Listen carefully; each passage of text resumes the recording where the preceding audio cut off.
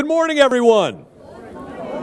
And welcome. Thank you all for coming. My name is Kelly Brothers of Genovese Burford and Brothers, KCRA, KFBK, and on the weekend I'm a barista at Starbucks. Uh, um, great to be with you uh, again. Anne Marie asked me to do this. Usually I'm kind of a, a slave to radio these mornings, tied to a microphone till 9 o'clock, but Anne Marie and I go way back. I have great high school stories if any of you want to hear them. Uh, but I'll lay off those uh, this morning. But what a great weekend we have here in Sacramento. Think of everything going on the Amgen Tour, the Republic game. Hunter Pence is playing at Raley Field tonight, which my 10 year old daughter is very excited about. And uh, not to mention Mother's Day coming up. Ha- Happy Mother's Day to all the moms who are out there in the audience.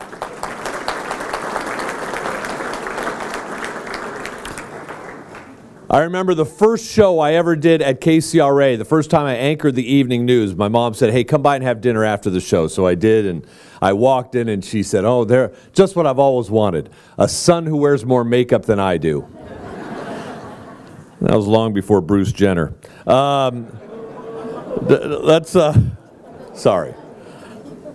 Let's begin the program by recognizing the generous champion sponsors who have each contributed $1,000 to this great event.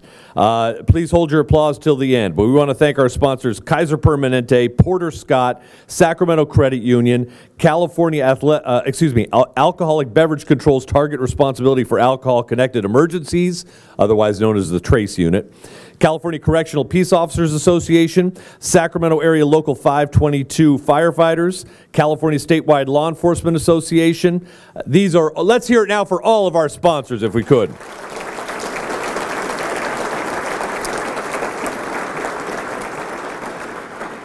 We would also like to thank our guardian and advocate sponsors. They are recognized on the back of your program this morning. But we begin, as we always do, with the presentation of colors by the Mutual Honor Guard, which is comprised of members from local law enforcement and public safety agencies, followed by the Pledge of Allegiance and the national anthem.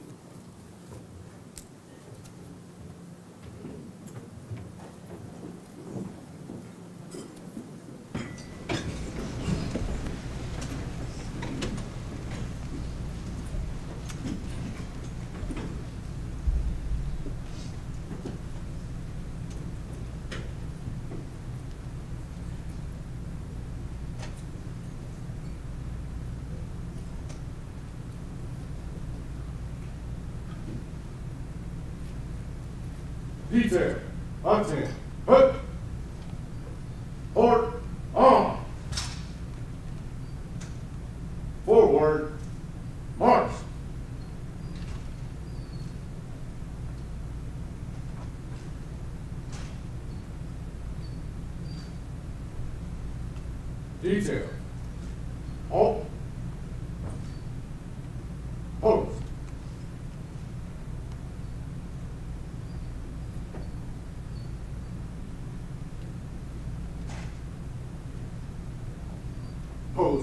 Post, colors.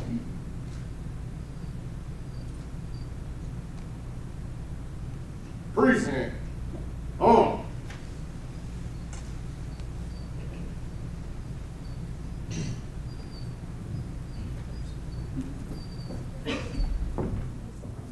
Good morning, everybody. We're going to start off with the Pledge of Allegiance. Before we do that, I want to um, invite Officer Randy Van Dusen up to the stage to help us with that. And I wanted to kind of tell you why we asked Officer Van Dusen and Bodie, come on up, Randy, um, to do this. Um, for those of you that don't know Officer Van Dusen, the reason I asked him was really for both professional and personal reasons. And that is because three years ago, almost to this day, we had an incident that unfolded on the streets of Sacramento, uh, essentially a very violent incident that unfortunately involved uh, the Sacramento Police Department, but it also involved the children of Crocker Riverside School because it all unfolded in front of that school. And ultimately, it resulted in um, Randy, Randy's uh, canine Bodie being shot. And uh, it's not just professional because it demonstrates the, the service that we're here to represent and celebrate today of public service today in our community, but it's also personal because my son Riley was at that school that day. and um, it had a traumatic impact. So today I, I consider this to be an intersection of public safety in our schools. Um, but after that event, it's not just the dedication of the police officers from that event that was a, a, a clear demonstration of the work that they do, but Officer Van Dusen took it upon himself to reach out to the children of our, of our community with Bodie and to, um, to heal what happened that day. And so I thank him, as well as all members of public safety today, of what they do, not only to protect us, but on behalf of our community. So I thank Officer Van Dusen for that. And so with that, Officer Van Dusen and Bodie. By the way, Bodie sired five puppies last week, so I'm glad they're not here today because they'd be going home with us. But uh, Officer Van Dusen, can you lead us, please, in the pledge? Please join me in the Pledge of Allegiance. Salute and pledge. I pledge allegiance to the flag of the United States of America and to the republic for which it stands, one nation, under God, indivisible, with liberty and justice for all. Thank you. Please be seated.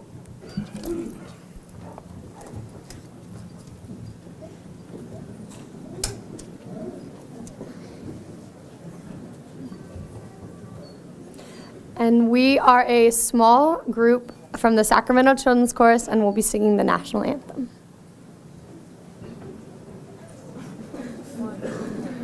Sorry.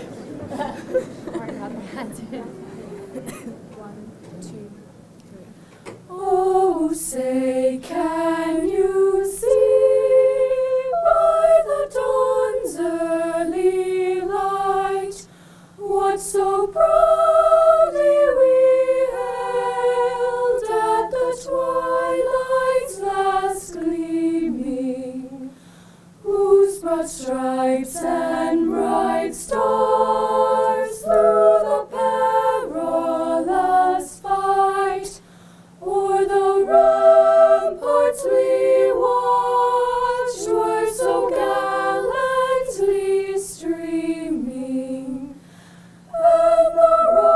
rocket's red glare, the bombs bursting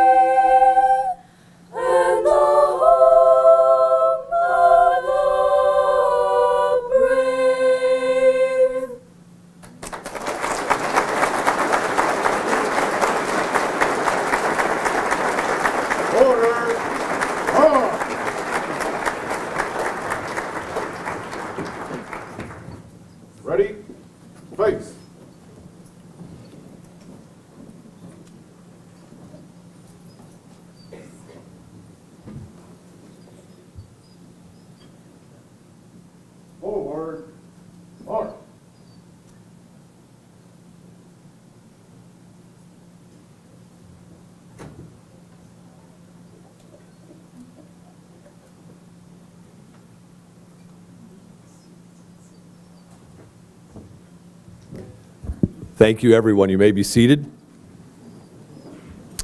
Chaplain Mindy Russell will now lead us in the invocation. She is the executive director of the Law Enforcement Chaplaincy Sacramento, where she serves as senior chaplain for virtually every federal, state, local law enforcement agency serving the Sacramento region. She is actively involved in many organizations, including the DA's office, where she continues to be a vital part of the planning, organizing, and of course, a participant in this great breakfast as well. Please give a warm welcome to Mindy Russell.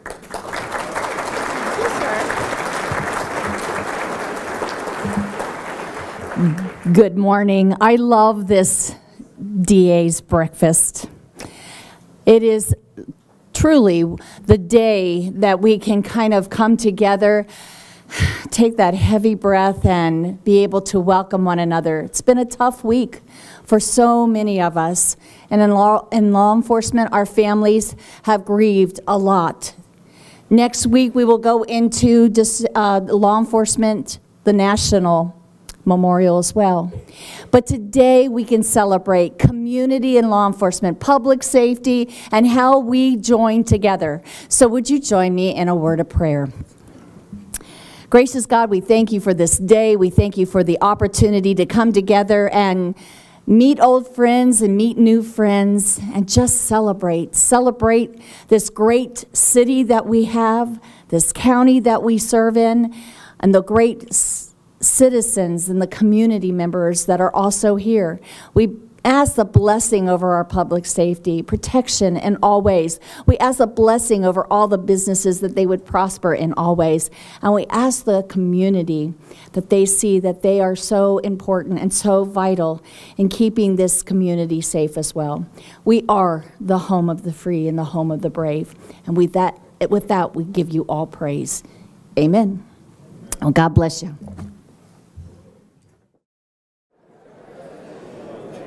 I'd like to call up to the stage uh, a gentleman who's going to present some information about the Sacramento Police Sheriff Memorial Foundation. Dustin Smith, come on up. Dustin is president of the Sacramento Police Officers Association and the Sacramento Police and Sheriff's Memorial Foundation. Let's give Dustin a warm welcome, shall we?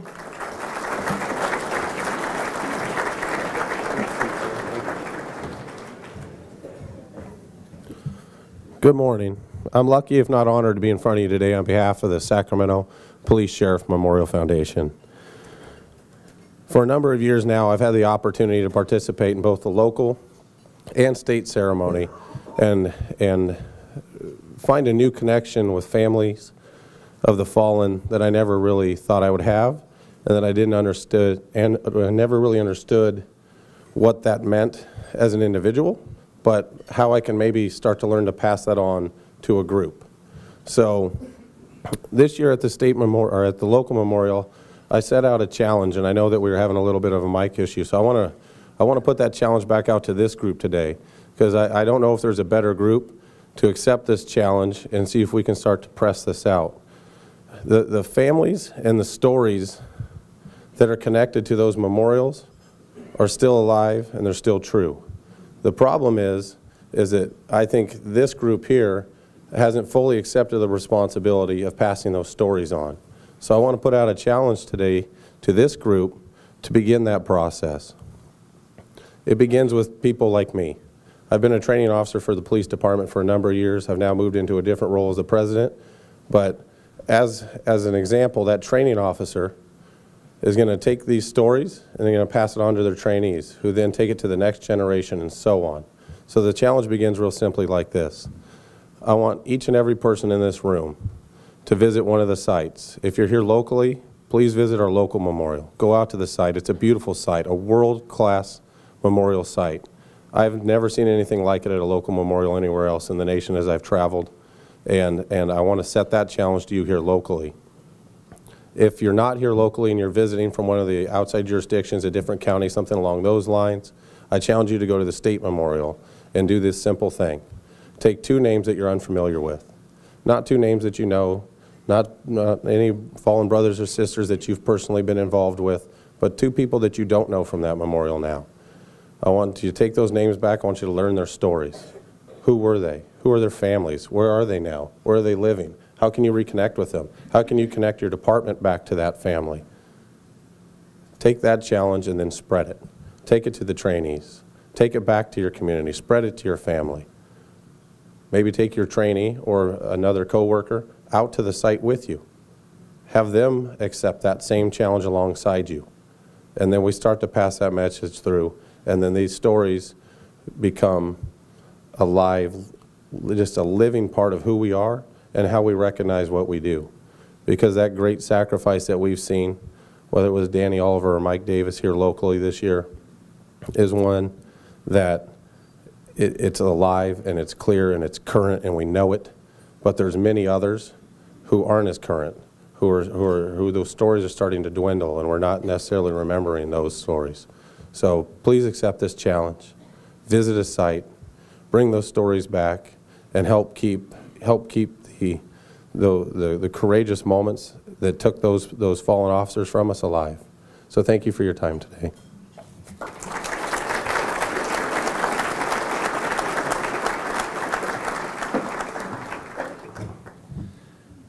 Thank you, Dustin. I'd now like to bring back up uh, Mindy Russell, our chaplain, to lead us in the tributes to the fallen officers. Mindy, come on back up.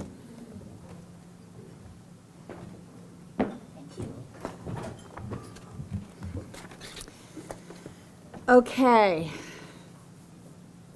Vanna White here.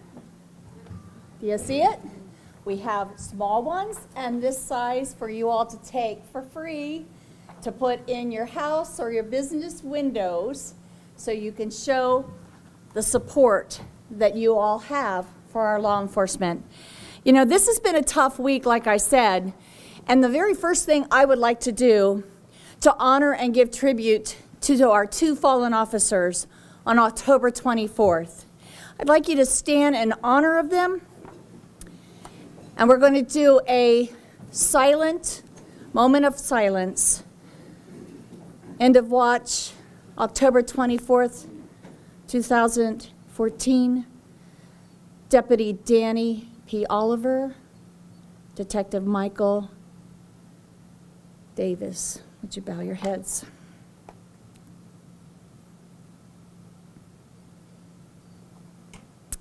Thank you. You may be seated.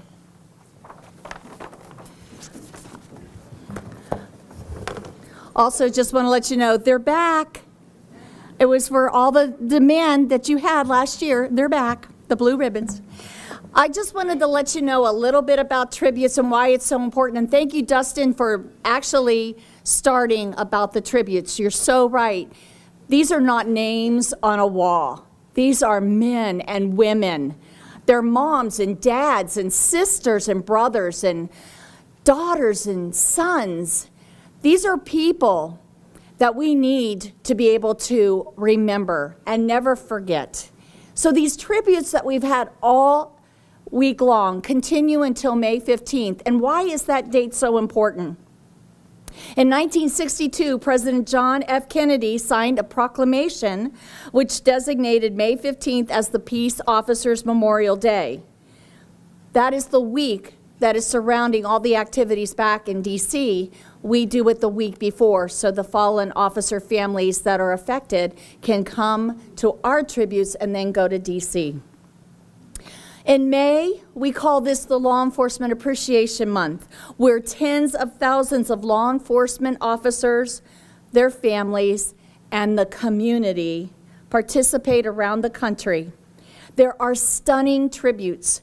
There are so many traditions seeped into the ceremonies that you have witnessed. And I hope that if you haven't seen them, another time, maybe next May, you go and take time to go to the Police and Sheriff Memorial or maybe go to the California Peace Officers Memorial because it brings such a pride in you. It is true, it is a bittersweet day. It's bitter because it shouldn't have ever have to happen. But it's sweet to know that one day out of the whole year, we recognize the great sacrifices of these men and women. And may I just go to the transition of our fallen officers pay the ultimate sacrifice, but our officers and their families every day make a sacrifice because they're willing to stand in harm's way for you and me. So I would like to let you know that we have a challenge too. I'm pretty fed up, quite frankly. Can I do that as a chaplain? Fed up? I'm just, I'm just done with all the stuff that's gone on in the news against our law enforcement. And I had a little lady come up to me and said, Well, you know, my officers know I, I appreciate them. And I said, Well, why is that, ma'am? She says, Well, because I don't break the law. I said, That's not good enough anymore. Bless your heart. And she goes, Well, what do you want me to do? I said, Why don't you wave to them? Why don't you walk up to them and say thank you for your, your do of what you do in our community? Why don't you tell other people how good they are? Because we have stellar law enforcement in our community. And I want you to know we appreciate you. So, for um, the chaplains that are your cheerleaders out there, okay, we want you to know one thing. Our challenge was, we started in January when we had a pro a rally for law enforcement, and we're going to do another one in August. We had everybody in the community that we could give the sign to our officers that we appreciate them, and this is it. Ready? Well, you don't have to do this, but this. So, on the count of three, if you're ready for the challenge, are you ready? I want to see this because that shows we support law enforcement. Ready? One, and two, and three. All right. Did anybody get a picture of that? All right, God bless you all.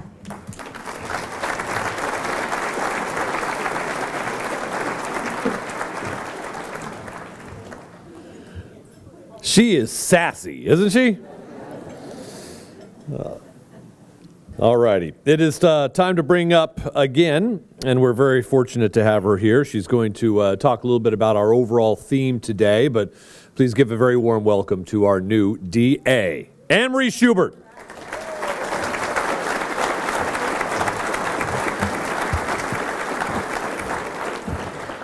So, good morning again, everybody. Before I kind of talk about what this year's theme is, I just want to take a couple minutes and, and, and say thank you um, to everybody that's here. This is my first, uh, this is my first rodeo, I guess you can say, for this event. Um, I've come to many. Um, it is really, in my, in my humble opinion, it is a great day for Sacramento. It's a day that we come together as a community to celebrate the hard work of our law enforcement and really also to celebrate the communities that, that they serve and that we serve. Um, and with that, um, there's many people in this room. There's elected officials, public safety representatives. Um, I can't spend all day. Um, I, if I if I did, I'd be here all day to, to acknowledge everybody individually. But but really, when we talk about the communities that our law enforcement serves, they're really here. They're representative in this room. And so, with that, um, every segment of our community is here public safety agencies, education and school districts, healthcare, legal, the business community, various associations, community organizations, nonprofits, public service agencies, and our faith based community. That's a pretty darn good sign of the fact that we're here to represent the community. Um, so let's talk a little bit about the theme for this year. Um, you'll see on your pamphlet that this year's theme is a community call to action for the safety of our children. And some of you might wonder, what does that mean? What, how do we come about this theme for this year? And um, it came really as a result of, uh, before I had the fortune of winning this election, I um, had the fortune of supervising our child abuse unit in the DA's office. And um, quite honestly, there's, there's some pretty despicable things that happen in this world to the children of our community. And this year's theme came out of what I would say are real life case, case examples that um, we see in law enforcement really on an everyday basis.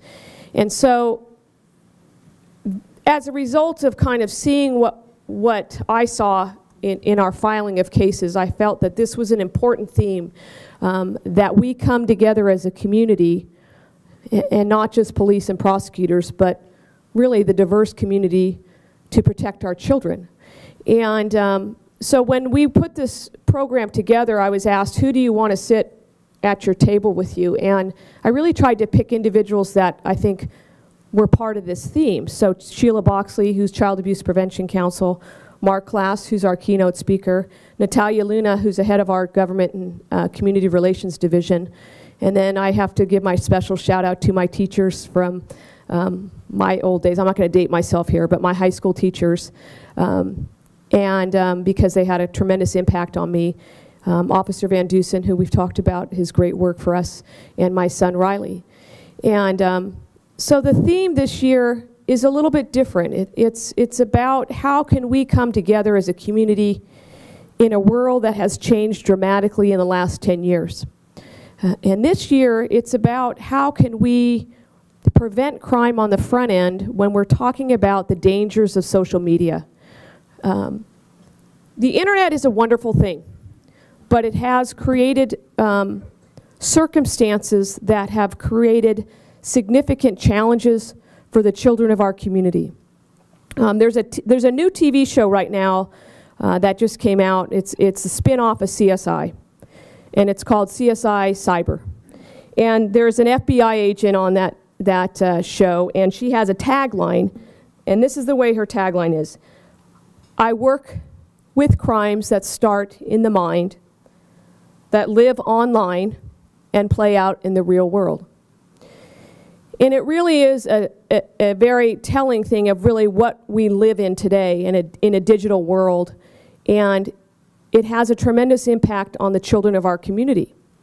And um, I think 20 years ago, many of us used to worry about who the person was at the park and how can we protect our children. And now it's who's the person behind the computer terminal. And as a parent and as a prosecutor, um, it changes every day. And I feel very um, passionate about the fact that it's our responsibility as a community, not just as police and prosecutors, but as a community to, to, to collaborate together. Part of the reason that we reached out specifically this year to school districts is because we want, we want to engage the schools in this fight. I call it fight crime and invest in kids, um, to prevent this stuff on the front end, not just prevent victimization of our children, but also prevent kids from becoming offenders through the use of online uh, social media. So that's the reason for our theme this year. Um, and so with that, with that theme, we put together a short video to kind of explain, a collaborative video, what is this idea and what can we do as a community. So I ask you just to take a couple minutes and watch this short video.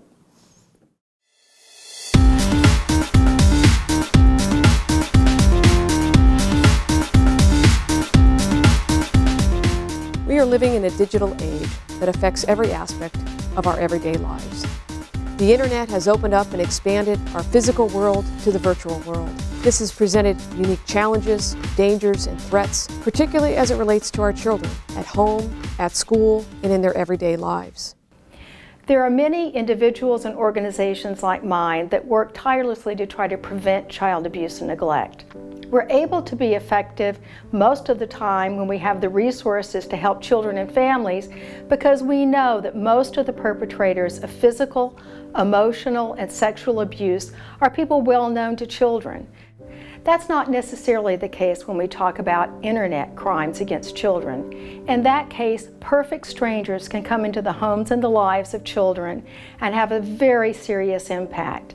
And it's been my experience that often children are much more tech savvy than their parents. So some of that monitoring is very difficult for parents. And we're working, as are others, to try to educate parents in how they can protect their children. It's a whole new world out there in the schools. It used to be that bullying was out in the open.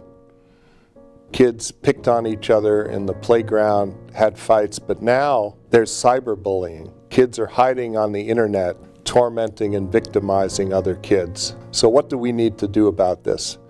Number one, we've got to educate parents. Number two, we've got to get parents to talk to their kids about this issue. They need to share the dangers of cyberbullying. The attacks on children have been devastating, leading some even to, to suicide. We've got to encourage parents and their kids to report incidents of cyberbullying to law enforcement. This is all of our problem. Our whole community needs to pull together to let cyberbullies know we're not going to let them keep hiding on the internet and victimizing our kids. The Sacramento Sheriff's Department is one of five regional task force in California that receives cyber tips from the National Center for Missing and Exploited Children. What types of crimes are we seeing? We have sexting, where we've got a child versus child or child versus adult sending sexually explicit images or content to one another. Then we have sextortion, where a child will send a partially nude photograph to a suspect. The suspect will ask for more photographs, and if the child declines, the suspect will send any images that the child already took to all of their friends on Facebook, possibly causing potential suicide. A lot of our teenagers, they themselves are becoming suspects, possibly by receiving images from their girlfriend, sending them to a friend of a friend, or posting them onto fake social media accounts. The Sacramento Sheriff's Department, along with the Sacramento District Attorney's Office, need to work together to educate our communities, our families, our parents, our teachers, and our children with age appropriate material. And as they get older, we need to continue to give them more information. Over the last several years, the District Attorney's Office has seen an explosion of cases involving the internet. They range from such things as child abuse, gang activity, human trafficking, and even murder cases.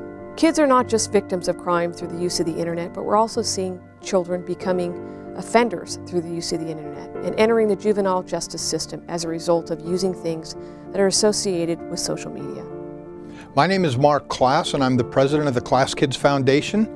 Uh, the Klaas Kids Foundation was founded in the aftermath of the kidnap and murder of my 12-year-old daughter, Polly Klaas. I'm very proud of the work that the Klaas Kids Foundation has done, but nothing that we've accomplished has ever been accomplished in a vacuum. We need really good cops on the street and cops online that are able to do the investigative work to be able to bring these individuals uh, in. We need great prosecutors that understand that people that say they're going to cause harm to children very likely will cause harm to children, and if they haven't already, they have to be dealt with in an effective way.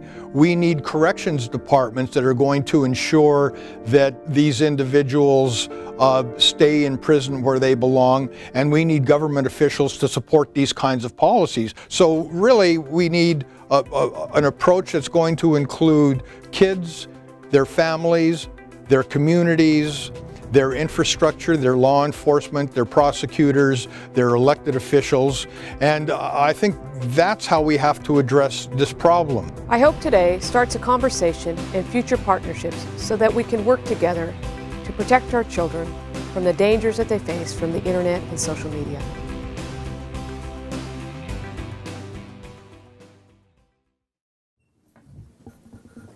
So with that in mind, um, this year we asked Marc Klaas to be our keynote speaker. And um, everybody knows uh, what happened to Marc and his life and his daughter Polly. Um, but what Marc did really over 20 years ago, from the time that terrible situation occurred, was he gave up his career, his lucrative career, and in my opinion, to be one of the most nationally recognized child advocates in this country on behalf of children. And um, I consider him a friend. I've known him now for a few years. We've worked on other public safety issues together. And um, the thing about Marc Klaas that I have such tremendous respect for is despite um, the loss of his daughter, he has um, he's taken upon himself to make it a mission. He is a singular vision individual, and that is to do everything he can to protect the children of this community.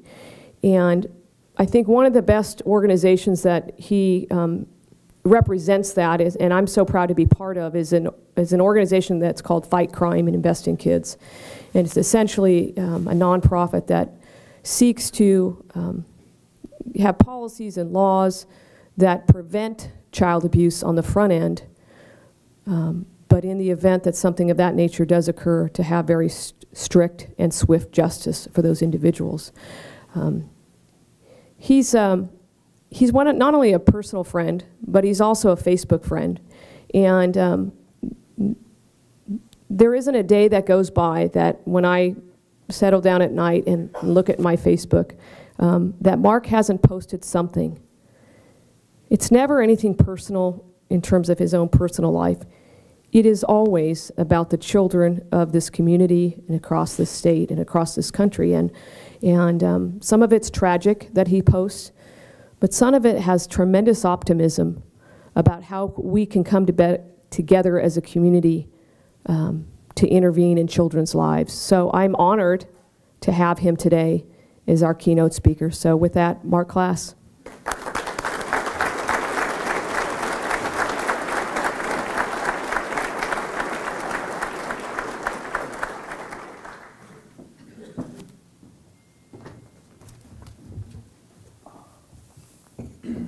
Yes, good morning, everybody. Um, and isn't she great? I mean, wow, she had such big, big shoes to fill, and, and she's done such a tremendous job. To have one great DA follow another great great DA is is is. Uh, I, I think an anomaly in, in our society, but boy, did you guys score here in Sacramento. So just a, a, a, shout out to, to Anne Marie. She's fantastic. Um, I'd like to correct something that she said, though, very quickly first. She said that, that I've followed a singular vision. It's not a singular vision. And any of the work that I've done has been in collaboration with a lot of people, and I'll be talking about that. But more than anybody else, I wouldn't be able to do what I'm doing without the support of my wife, and I'll tell you why. We, uh, I remember the precise moment that I, I decided I needed to pursue a career as a child safety advocate. And it, wasn't the day that Polly was kidnapped, which was October 1st, 1993. And we were informed about that very late at night. It was about 10.30 in the evening. Um, and we went to Petaluma. The first thing we were told is, don't go to Petaluma. We live in Sausalito. Don't go to Petaluma because the police don't want a distraught father trampling evidence. Well, it turned out the police never said that. That was somebody taking it upon themselves. But we went to Petaluma the next day, and then the next 65 days were really, were really guided by fear of what had happened to our daughter, hope that we might be able to find her, anger over the fact that every day went by and we weren't able to bring her home, and then just the total desperation that exists in trying to find somebody um, when you're really looking for a needle in a haystack. And after, the day after Polly uh, had been found, Violet and I returned to our home in Sausalito for the first time in over two months. And uh, you could imagine the despair that we were in. It was just such a horrible thing. We were so sad. We really didn't want to live. We took a walk, and I said to her, I think I'm pretty good at this. And I'm going to continue advocating or start advocating for other kids as we advocated for Polly if I have to do it out of a cardboard box on the side of a railroad track. And she said, You do what you have to do, I'll keep working, we'll find a way to move forward, and we'll try to make a change in the world. And uh, we felt we had a very, very limited window of opportunity. We really felt we had about 90 days. So from that moment on, we've been more than my beautiful wife. I mean, she's been my great partner. And, and anything that I do is certainly backed by the hard work that she does, detailing everything that needs to be done, organizing everything, making sure that I got up here making sure that I woke up this morning and found myself in front of this podium. So, you know, uh, thank you, Anne Marie, for saying those nice things about me, but there's no me. It's, it's really in us, and it always has been, and it always will be. So we felt that we had this very short window of opportunity and we knew that we had to do something and we didn't quite know what to do. We didn't want to do a TV movie. We, we rejected those ideas. We rejected the book ideas because we thought, you know, in three months there's going to be another crime, another crime du jour. People will start paying attention to that and we'll lose our opportunity. And in fact, not long afterwards, O.J. Simpson, uh, I'm sorry, um, Nicole Brown was murdered by an unknown assailant. And uh, that really sort of dominated the news cycle for a number of years. And hopefully OJ will get out of prison and he'll be able to get back onto the golf course and find out who actually did commit that crime. But, you know, before Polly was kidnapped, we thought she would be okay. I mean, we'd had the talk. We talked to her about stranger danger. But we found out afterwards that that the evidence doesn't support that idea of stranger danger. So there really wasn't anything out there going on to protect children. There weren't any protocols for law enforcement. Um, there weren't any good ideas for parents to talk to their kids about. It was still, people were talking about stranger danger, stranger danger. Well, you know what? Polly was kidnapped by a stranger, but it wasn't some guy that she talked to. It was some creep that had just gotten out of prison for his second kidnapping who had been rehabilitated while he was in the joint, and who three months later decided that he would avoid AIDS by getting a young one. So, what do you have? You have a psychopath who, whose, whose definition of safe sex is to kidnap rape and murder a 12-year-old girl. Well, there's something well beyond stranger danger going on there, so we started looking into it. And what we found is that one in five girls and one in 20 boys is a victim of child sexual abuse. Over the course of their lifetime, 28% of U.S. youths aged 14 to 17 had been and probably will continue to be sexually victimized. The children most vulnerable to child sexual abuse are girls between the ages of 7 and 13 years old. Um, the typical offender is male, begins molesting by age 15, engages in a variety of deviant behavior, and molests an average of 117 youngsters, most of whom do not report the offense. This tells you, you know, that, that there's a, a, a, very deep problem going on here. Now, I could go on and on and on with statistics, but I'm sure that most of you in this room are much better versed in statistics than I am. But there is one other statistic that I'd like to share with you, and I'm going to share it with you at the end of my talk. And I'm going to wait until then because it's, it's so important. It, it, it's a statistic that, that tells me very clearly that we can cut predatory abduction in the United States of America by one third. And we can do that without new technologies. We can do that without some miracle product that's going to cost anybody a whole bunch of money. Uh, we can do that without engaging uh, new forms of social networking. Um, but I'm getting a little bit ahead of myself, and I, I will move on, and hopefully I'll remember at the end to share that because it's really cool stuff. The first thing that we did after rejecting the ideas of movies and books and, and edutainment um, types of options is we dove right into legislation. We got involved in things like truth in sentencing. Um, we got involved in President Clinton's um, President Clinton's crime bill, which put 100,000 cops on the streets, which promoted truth in sentencing, which put a bunch of money um, on the street for prevention funding for at-risk youth, sort of a precursor to the Fight Crime and Invest in Kids issue. Uh, we ultimately got involved in uh, Mike Reynolds' fantastic Three Strikes and You're Outlaw after some initial hesitation, but it was actually after we saw that it was working incredibly well that I called Mike and I said, man, you were right. Everything you said was right. Crime has been cut tremendously in this state. We got behind the um, California's one strike law for sexual perverts, predators, and we got behind things like Megan's Law and ultimately things like the Amber Alert, Amber Alert legislation that, in and of itself, helped cut crime in the United States by 50% within only a very few years. It was absolutely extraordinary. Polly was kidnapped in the middle of the worst crime um, outbreak in the United States history, and within just about five or six years, it had been cut completely in half. Unfortunately, now we're seeing all of this good work undone. It's absolutely unreal. If it's not AB 109 or Senate Bill 9 or Proposition 36 or Proposition 47, it's the piecemeal release of lifers because they're supposedly aged out.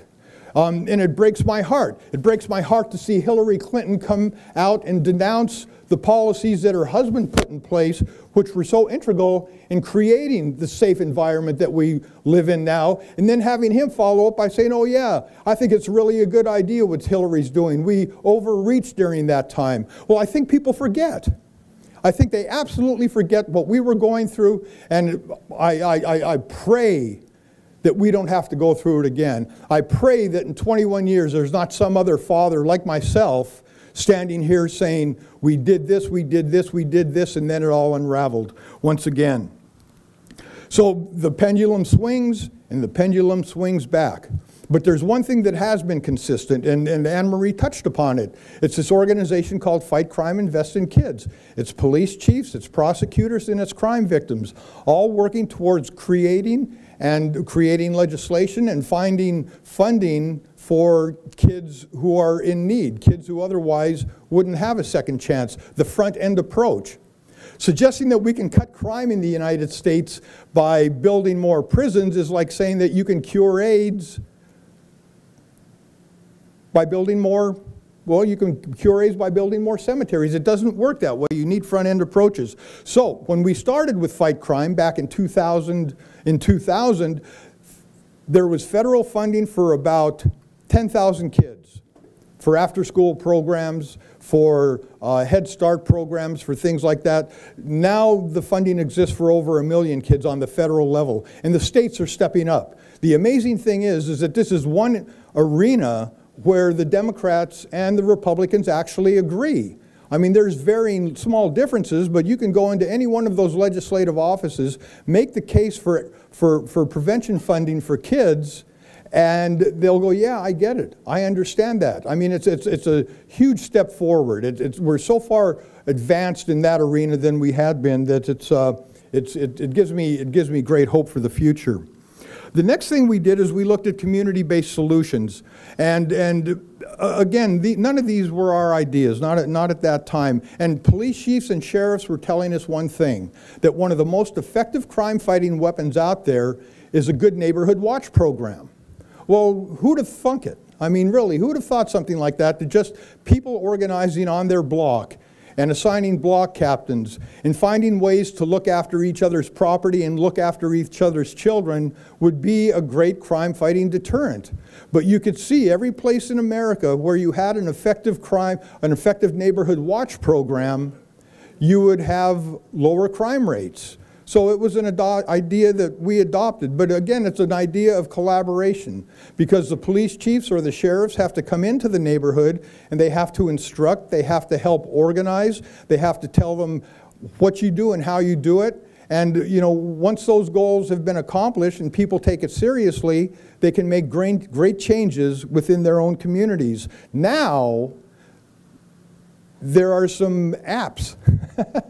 there are some apps and, and, there are some online resources uh, to enhance the Neighborhood Watch program. Uh, Nextdoor comes to mind. Um, another one that is, uh, that's very popular is ineighbor.org. Um, and they're both structured to enhance the neighborhood watch concept. I joined our local Nextdoor group just to see what kind of stuff is going on in there in that forum. And you know what? There's a lot of gossip. There's always a lot of gossip in life. It's absolutely unbelievable. But you, once you move all that stuff out of the way, there are some people talking about some really serious issues. Uh, suspicious vehicles that might be lurking in the neighborhood, or suspicious people that might be in the neighborhood, or even the multi use paths, finding ways for people to be able to walk the path while somebody is biking the path. And I do a lot of biking myself. So I'm on the, the multi-use paths in our neighborhood quite often on my bicycle, um, but I do it on the weekdays because there's very few people out there. On the weekends, you have these, I call them bike Nazis. I mean, they, you have these groups of like 15 or 20 guys that just take over the road and just move forward at about 20 miles an hour, and, and boy, you get in their way, and, and you, you know, you better start praying now. Find, Mid, find Mindy because you're going to need her. Um, but then there's other kinds of community-based solutions that I'd like to mention very quickly. Uh, businesses that give time off for their employees so that they can volunteer within their community um, is, is a, a, very successful program because it brings business into the community much more than they otherwise would be. It gives them an opportunity to give back to their community. Uh, fraternal organizations like Rotary or Kiwanis that, that very well, that do very well bring uh, children as a number one priority in the programs that they develop for their local chapters and for their national chapters. I mean, it's, it's really a good thing to see, and they take these kinds of things very, very seriously. Um, and then churches. I mean, churches, the faith-based community is, is, is huge in child protection in this country because obviously they give them a good moral grounding, they give them an ethical grounding, and they do reach out to the community. They, they feed the homeless. They find ways to, to give back to those that have given to them. Um, one of the things that we did is we quickly developed an outreach program called the Printathon. And with the Printathon, we use computerized equipment. And we use it to fingerprint and photograph kids. And that's kind of a ploy. I mean, what are you going to do with the kid's fingerprint, really? Uh, I don't know if anybody's ever been able to use that in an investigation. I, I think it would be hard pressed to find a scenario where uh, a missing child will be located through the use of a fingerprint, but it gives us the ability to bring parents in so that we can share good information with them, something beyond stranger danger.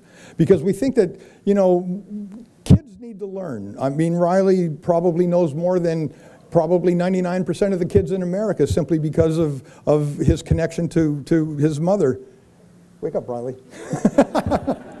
um, but, you know, again, we, we, uh, we've fingerprinted and photographed more than a million kids in America, and we've been to like 45 states, I think.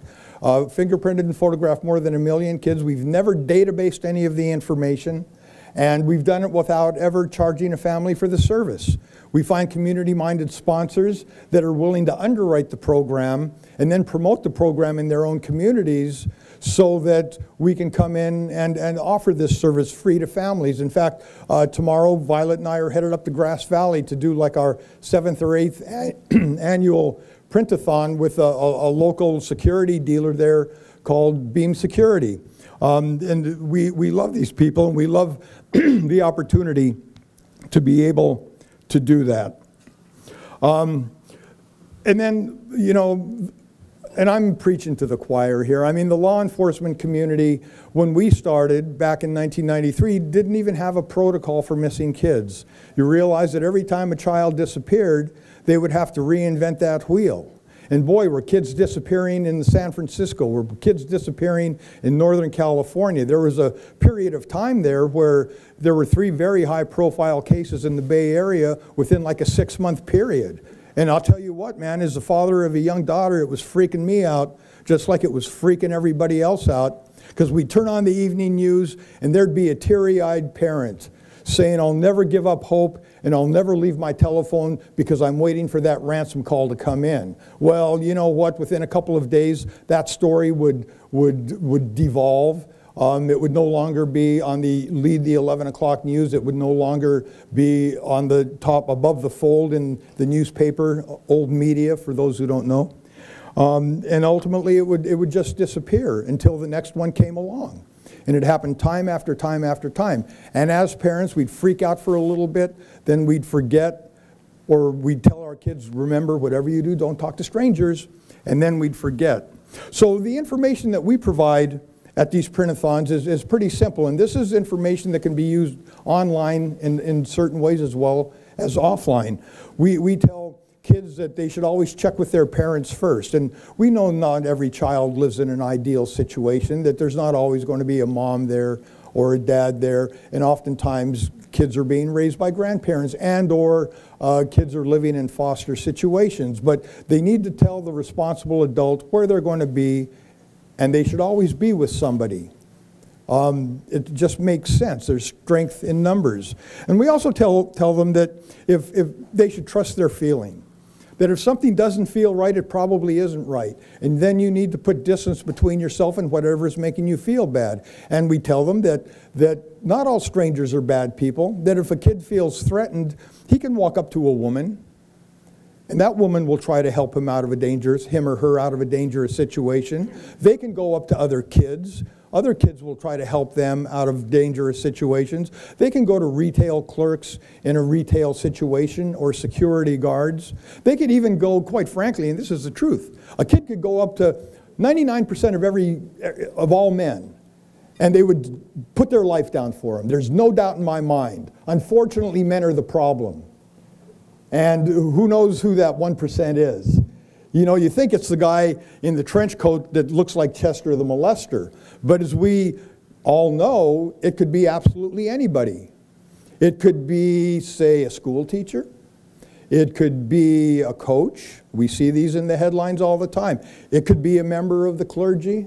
It could be just some guy walking down the street. I don't know if any of you saw this, but just yesterday, there was some amazing video that came out of the Bay Area and it even looks like it's in high def. And what it does is it shows a 13 year old girl walking. And I'm suspecting that she's probably walking home from school because she has her backpack. And there's a man following her. Well, he looks like a respectable guy, and that's what she said. He just seemed like a normal Joe. So she didn't pay a lot of attention to him. And she walked to her house, and he followed her into her house. He pushed his way right into this little girl's house. And you know what she did? She fought him off. It doesn't look like she did a terribly effective job at fighting him off because she fell to the ground. He was much bigger than she was. But whatever she did, it was enough to force him out of the door. This is a little girl, and I think this is one of the most empowering videos I've ever seen in my life because this is a slight little girl that finds a way to fight back and quite probably save her own life against somebody much stronger and somebody much more determined. And I hope every kid in America looks at this video and says, if that little girl can fight back, I can fight back too. Because you know what? Far too many kids, including my own daughter, went with the perp when they shouldn't have. They should never go. They should do whatever they can do to stay at the point of contact. Don't be marginalized more than you're already marginalized, because if you are, it could very well be the end. So go online. It's on. It's everywhere. It's on Facebook. It's everywhere. And uh, you'll see this video of this kid if you haven't done that already. But you know, cops have things that they didn't have before.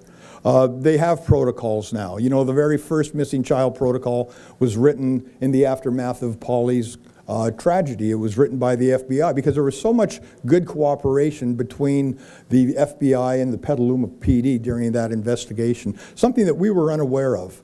Um, but it, it did happen. Um, so there's interactive databases that cross jurisdictional lines. There's software solutions that prioritize the elements of an investigation. Surveillance cameras, what a great thing surveillance cameras are. And I know a lot of people don't like them, but personally, I I think they're absolutely amazing because we can see what's actually going on in our communities. There's no question that children still face dangers on the street. We hear the headlines every day. A child is snatched, an Amber Alert is issued, an investigation is launched, sex offender registrations are searched, and surveillance cameras are monitored. Our understanding of street safety has been heightened in the past 20 years to the point that we don't have to reinvent the wheel every time a child disappears, and we don't automatically categorize every missing child as a runaway. You know, my daughter was the very first missing child on the internet.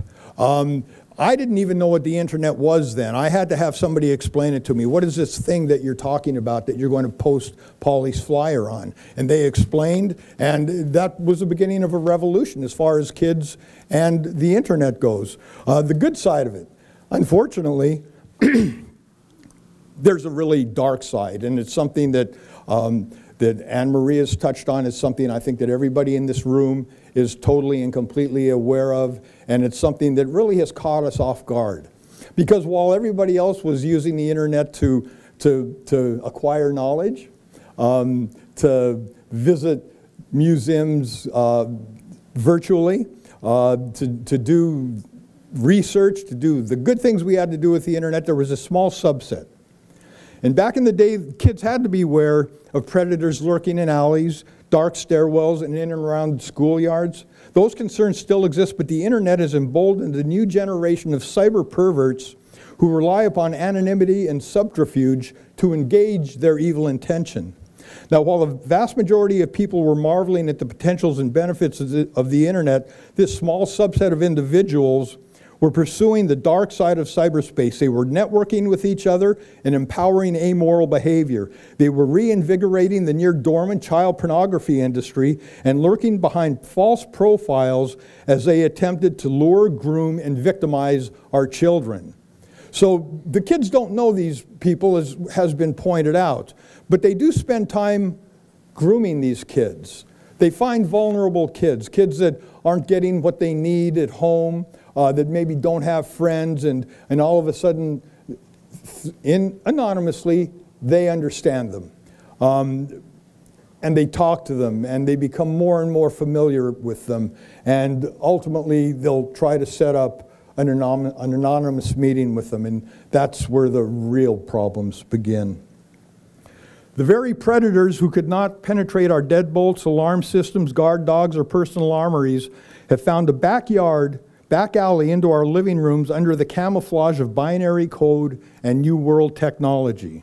The problem has become so alarming that an instant message stating that I am a 12 year old boy home alone and I want to have sex with you is enough to launch and deliver a convoy of white and blue collar pedophiles willing to risk anything and everything to satisfy their uncontrollable urges. While we basked in a false sense of security, our children's bedrooms became the predator's new playground. I'm sure you've all seen the Dateline programs that they used to do to catch a predator. It was absolutely extraordinary. You couldn't stem that tide of, of, of cyber perverts. I mean, they were almost like in convoys coming to these houses. There were points where the host of that show had to juggle two guys in, in different parts of the house at the same time. They were coming in such huge numbers. Many of those resulted in, in, in uh, in prosecutions. The, the show died in infamy, unfortunately, because it led to a very unfortunate in this, uh, incident. But I think that it did a tremendous service to society by pointing out those inherent dangers of the internet to all of us. Now, how do we combat internet crimes against children? I guess that then becomes a big question. Uh, they used to say place the home computer in a common area and modern, monitor your kids' online activities. The problem with that is that Probably every kid in America now has a laptop, they have a tablet, they have a smartphone, their friends have all of those things. They have libraries they can visit that are online. They can go to their friends' houses, they're all online. In school, they're online. There's no way that you can monitor your kids' activities online, really. Uh, even the, the Net Nanny softwares that, that purport to assist you in doing that don't really do that good a job. It really comes down to being able to educate your kids, talk to your kids, have an ongoing conversation with your kids, and make sure that they understand that the dangers that they face on the street are the very same dangers that they're facing online. We need to stay on top of social media. How do you do that? I mean, I'm sure everybody here has got uh, access and, and, uses to some level, either professionally or per personally. And I'm going to start posting my dinner menus now, Anne Marie, I thought, so I can be more mundane online, I guess. Um, professionally or personally, and, and uh, we're all on Twitter, we're, we're, we're on Facebook, but you know what? There's a, uh, kids abandon those those social media sites long ago. Now, there's an organization that does a very good job of, of monitoring what kids are doing online and where they're going. It's called Common Sense Media. It's commonsensemedia.org. And you can go on to Common Sense Media to find out what kids are doing and where they're going and learn a little bit about these apps because they come and they go very quickly, but they're ubiquitous. There was a case a couple of years ago of a little girl whose mother and brother were murdered, and she was then kidnapped by this lunatic. Um, she was fortunately rescued in the mountains of Utah by a crack FBI team. And the first thing she did when she got home after they murdered the perp was go online and start sharing information with her friends. And people are like, whoa, what's wrong with this little girl? She must have been complicit in her own kidnapping. There's something, you know, amoral and antisocial about the way she's doing things. Well, you know what? This is how they grow up now. They grow up online. They're there all the time. They know what they're doing, and they're going to continue doing it. Now, before I go, I need to bring up this issue of cyberbullying. This is absolutely unbelievable. It's bullying. Cyberbullying is bullying that takes place using electronic technology. One thing we know about the World Wide Web is it is as permanent as it is anonymous. Anything posted can be there forever. You can't put that genie back in the bottle. Cyberbullying can be anonymous, as anonymous as it is 24 7. There are many instances of deaths as a result of cyberbullying. Um, Tyler Clementi, the student out of New York, is one that comes to mind. Audrie, Audrie Potts in the Bay Area is another heartbreaking instance of somebody that was just bullied into their own death. We need to be vigilant and we need education if we're going to be able to overcome this cyberbullying trend that we're seeing now. Now, I know that I've got just a couple of minutes left. At the beginning of this talk, I told you that I had another statistic that I think we can use to cut predatory abduction in this country by a third. And this is it, in a nutshell. It turns out that one third of all predatory abductions in the United States of America occur to children headed to school in the morning or coming home from school in the afternoon. That's extraordinary. That's extraordinary. And here's how I think we can cut this. First of all, we tell this information to our kids. You need to be particularly vigilant going to school and coming home from school because oftentimes you're by yourself. Oftentimes, your mind is not on your surrounding. It's either on your schoolwork or on your friends or on something else. Um, These people may be lurking, they know your patterns, they may be laying in wait. What we can do as a society, beyond talking to our kids, is we can set up surveillance. We can do high, high tech surveillance with cameras, things like that, or we can do neighborhood watch surveillance. We know that these kids are vulnerable the, during these times, so let's have a neighborhood watch program deal with that. Or let's have an, an, uh, uh, an assisted living facility full of old folks who may not have a lot to do. Let them take on that job, or have the faith based community take on that job. Do something to make sure that we're monitoring our kids as they go to and from school. If a third of the kids are going down that way, we can stop that. We can stop that by working together in collaboration with our neighbors, with our cops, with our prosecutors, with our lawmakers, with our faith based community, with our NPOs. I haven't mentioned NPOs. NPOs are awesome. My goodness gracious, there's so many great NPOs out there doing God's work, and they're doing it for little fanfare and even less money. So, ladies and gentlemen, we can change this world, but we can't change it by ourselves. What we have to do is we have to find common problems, common themes. We have to link our arms. We have to work to together towards eradicating the problems that are in our society. And if we do that together, we can change the world. Thank you very much. Thank you very much.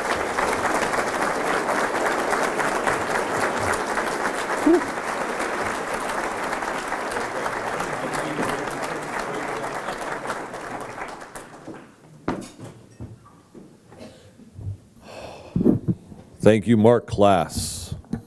Always a great reminder, especially I've got four kids under the roof at home still, and I'm one of those dads who tries, who checks the history on on the computers, who you know, who, who gets on, tries to get on every social media site the kids are on, and still I just feel like my efforts are woefully inadequate. Uh, just that constant nagging that I'm not doing enough, should be doing more, and thanks to organizations like yours, Marc, I know uh, I'll learn to do more. It was brought home to me last Saturday night. I came home from a charitable golf tournament, and my son is sitting there on his laptop. I said, What are you watching? He said, The fight. He said, I can't believe people are paying for this fight, Dad. What are you watching? anyway. All right. Continuing our recognition of extraordinary public service and public safety service. I want to introduce the Rotary Club president of the Sacramento Rotary, Susan Sheridan. She is going to present the Service Above Self Award. Please welcome Susan.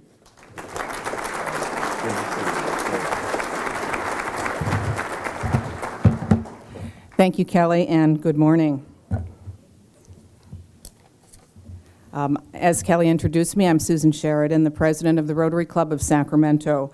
Uh, Rotary is an international humanitarian service organization with 34,000 clubs in over 200 countries, and we have over 1.2 million members. Our motto, the Rotary motto, is service above self. Each year, the Rotary Club of Sacramento selects an individual from our community that exemplifies our motto of service above self, and it is my honor to present the award uh, this year. So often in the line of duty, our law enforcement personnel make sacrifices, life and death decisions each day. But what, what do they do on their own time, on their downtime, when they're not on the job? Do they continue to serve selfish, selflessly on a regular day off or on a family outing? Sergeant Dave Gutierrez has been nominated by the Citrus Heights Police Department for the 2015 Service Above Self Award with regard to how he serves on his time off. Before you hear about Sergeant Gutierrez and his dedication, please know that he did not disclose this information to department personnel. He simply lives his belief in doing the right thing and does so without any need for recognition. There are three significant life-saving incidents that have occurred where Sergeant Gutierrez had single-handedly rescued people from three different accidents that he came upon while off duty and on outings with his family. His ability to act quickly saved lives and is exceptional and worthy of recognition.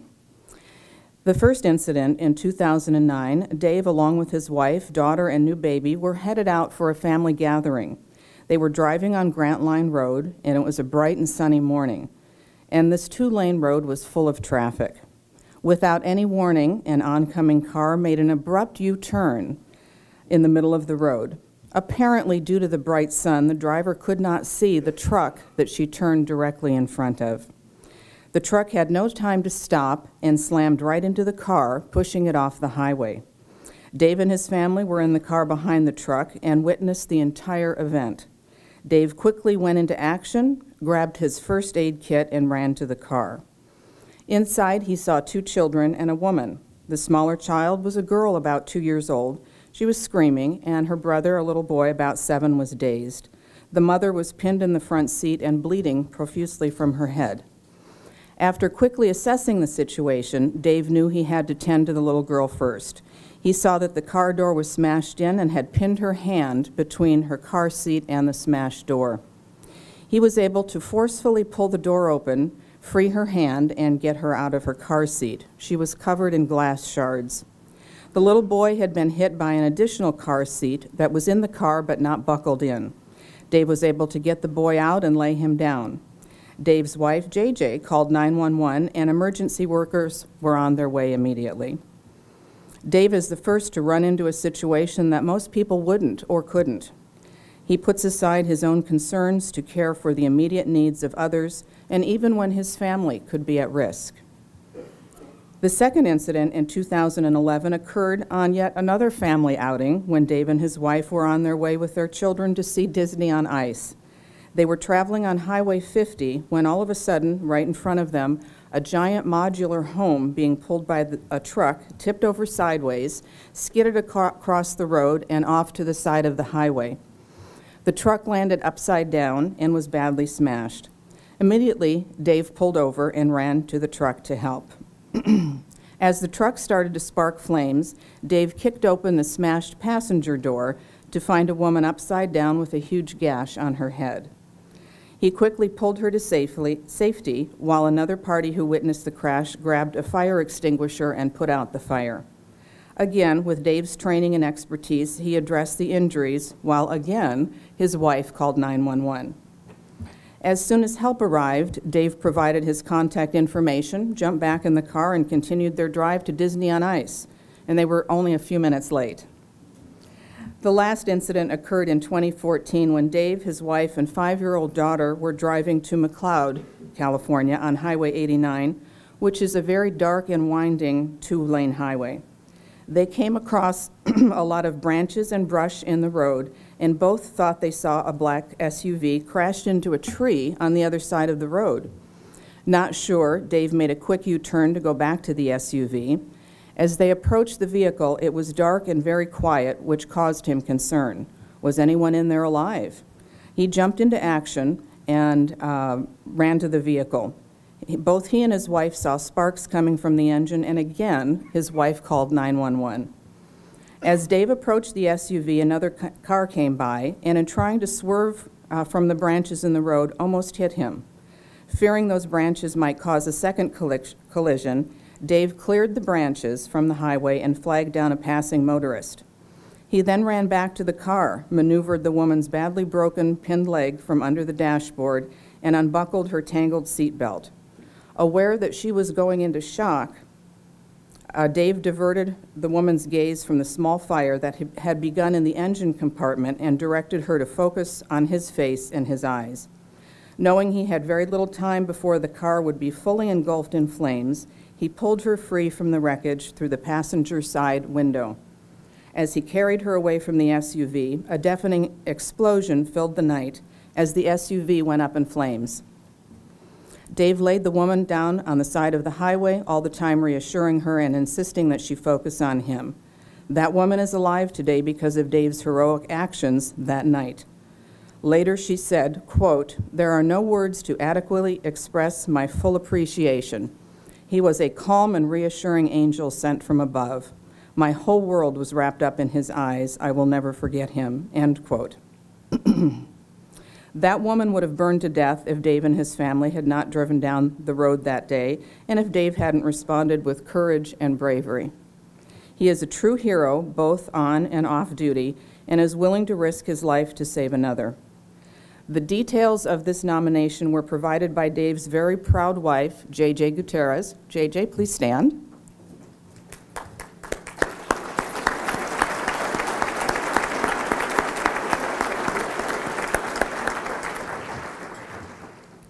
JJ knows firsthand that her husband is a hero. The nomination and this write up about Dave was provided by Sandy Maravillo of the Citrus Heights Police Department. Sandy, please stand.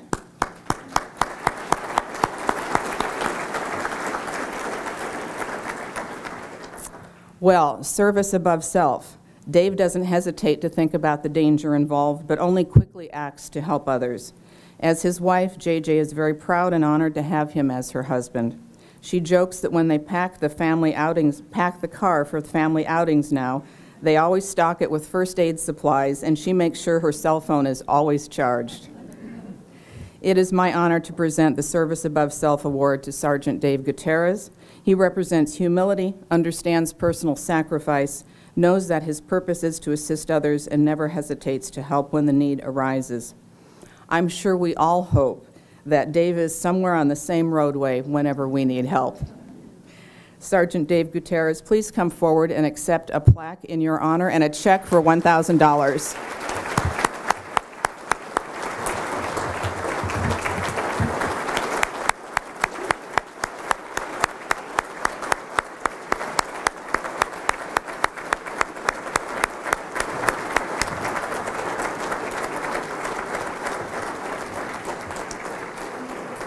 Thank you very much, Sergeant Gutierrez, and thank you to all in, in this room for your service. Thank you very much.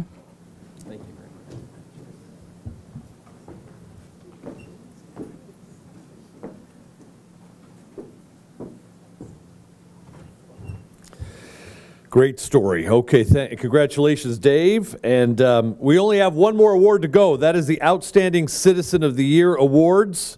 And Anne Marie is going to do the honors, and we're going to, and she's going to wrap things up. So I just want to say thank you for, for uh, having me here today. And um, I, last night I uh, was I emceed the Cristo Rey uh, Scholarship Dinner. Um, which was terrific. They moved into a new campus, and I got to interview one of the kids named Eliud, Eliud Marquez. And Elliot is the first Cristo Rey grad to graduate from Sac State this month, and he is going on to grad school. And he said, when I grew up, he said, my father never went to high school. And he said, I didn't know what college was or grad school. And to think that now I am leaving Sac State and going directly to grad school. And I said, what's the dream? He said, I'm going into law enforcement. And uh, it, it astounds me, and I am so grateful for the caliber of men and women who continue to work to protect our community. So thank you very, very much. Anne Marie, come on up.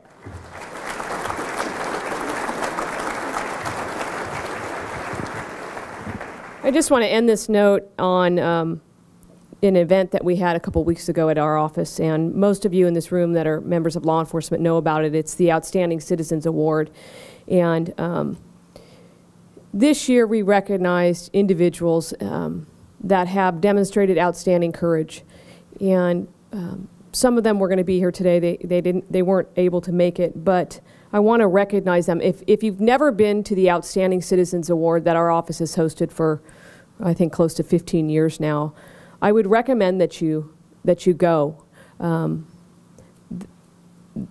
it, it's really an awe-inspiring event, even for those of us that have worked in this field for many, many years. It is an opportunity for, for each of us to recognize individuals that um, go above and beyond that um, just step up as community leaders, really ultimately, um, and are willing to be the voice for the victims of our community. Um, and so with that, I recognize them. But the other, the other thing I don't want to leave, wherever Chaplain Mindy is, um, is we also recognized a few weeks ago um, an Outstanding Service Award, and that was to an organization that goes above and beyond in, in the spirit of volunteerism. And this year we recognized the law enforcement chaplaincy and the good work that they do every day. Um, they are essentially the silent heroes that I would call, and as I said that day, they are the angels among us. And so with that, um, in this room, I would leave it at this when I say thank you to all of you. This is a room that is filled with heroes and angels, and uh, we, we need all of you whether it's the members of law enforcement, whether it's the, our schools, whether it's faith-based organizations, whether it's our business community, whether it's nonprofits. We need each and every one of you to listen to our call to action and to be the heroes and to be the angels so that we can, in fact, enhance public safety in Sacramento. And with that, thank you. Thank you all for coming, and I look forward to all of you here next year. So have a great day. Have a great Friday.